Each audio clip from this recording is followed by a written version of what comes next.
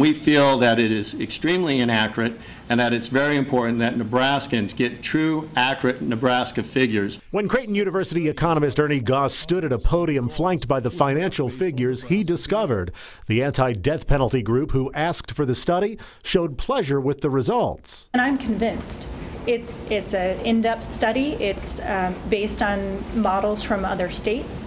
It's looking at costs that are in some ways specific to Nebraska. State Senator Kate Bolz' point is Nebraska Attorney General Doug Peterson's argument. And the author of the report recognized that he did not specifically go look for Nebraska numbers, but rather utilized these various studies and that's just simply not accurately stating our situation in Nebraska. While Peterson says the $14.6 million price tag is way off, he wouldn't provide his own less expensive figure. We simply can't sit down and watch this number be used over and over as being a cost figure when we know it does not accurately reflect what goes on in Nebraska. Peterson says convicts will file appeals with or without the death penalty, keeping court costs relatively the same.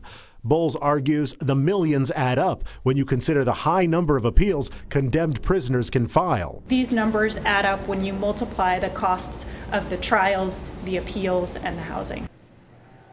The only adding that really matters will be the number of votes on November 8th. You will get a chance to either reinstate the death penalty or support its recent repeal. Back to you, Julie.